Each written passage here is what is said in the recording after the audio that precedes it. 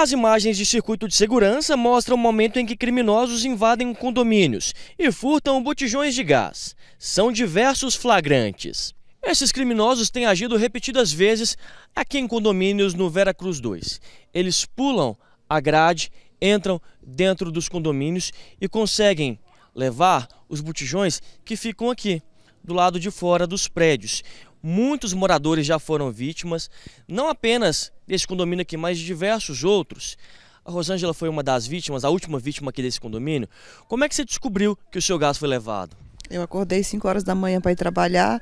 Quando eu acordei, a vizinha do outro lado falou que tinha sido roubado lá no condomínio 3. Aí eu olhei, o meu bujão tinha sido roubado também. O botijão, por si só, já é caro, com gás ainda mais ainda, né? Até mesmo porque a gente é assalariada, ganha um salário mínimo, né?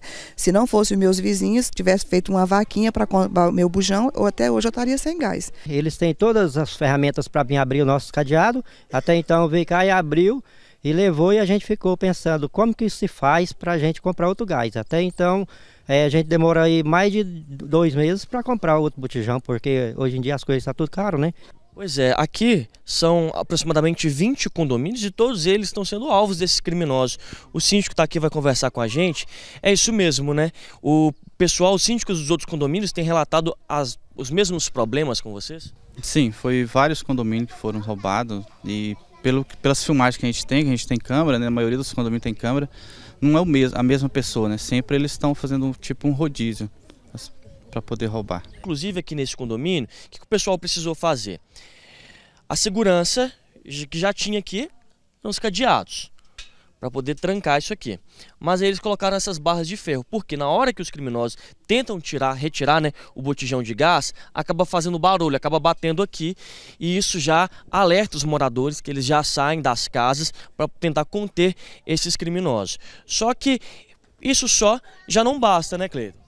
A polícia nos aconselhou para dificultar o máximo possível o trabalho deles. Então a gente tem câmeras, mas não está sendo suficiente a gente colocou esse cadeado. Era um, um dinheiro que a gente poderia gastar em outra área, que o condomínio está precisando muito, mas teve que gastar nessa área para poder fazer pelo menos a nossa parte. Mas o que a gente tem percebido é que mesmo com essas ferramentas para tentar dificultar as ferramentas de segurança, esses criminosos eles continuam agindo, né? Até porque eles não têm nem vergonha de se expor nas câmeras. Não, eles no máximo, quando usam, eles usam uma máscara para poder é, tampar o rosto. Eles não têm eles pulam a cerca em frente à câmera. Eles não têm, não tá nem importando de, de aparecer. O que vocês querem é mais segurança, né? A gente está precisando também de mais policiamento pela madrugada, porque na madrugada tá, é, é onde que eles agem e está mais precário para a gente. Portanto, os moradores aqui, eles querem mais segurança e que esse problema acabe, né? Que a polícia faça mais rondas por aqui e que esses criminosos parem de agir nesses condomínios.